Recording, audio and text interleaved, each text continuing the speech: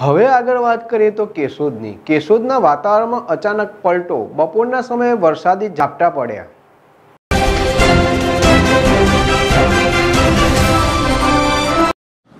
કેશોદ ચારથી પાંચ દિવસથી બીજી ત્રીજી વાર વરસાદી ઝાપટા પડ્યા છે. હાલમાં મોટાભાગના લોકોની મગફળી ઉપડી ગયેલ છે, પરંતુ થોડા ઘણા લોકોને મગફળી ઉપાડના પાથરા ખેતરમાં પડ્યા છે.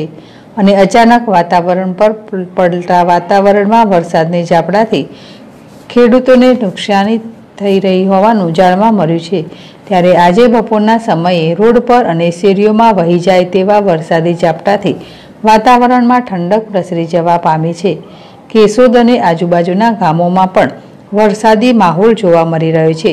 ત્યારે આજુબાજુના ગામોમાં વરસાદ વરસતા ખેડૂતોની મગફળી પલળી જવાથી ખેડૂતોને નુકસાની સાથે રોવાનો વારો સર્જાયો છે.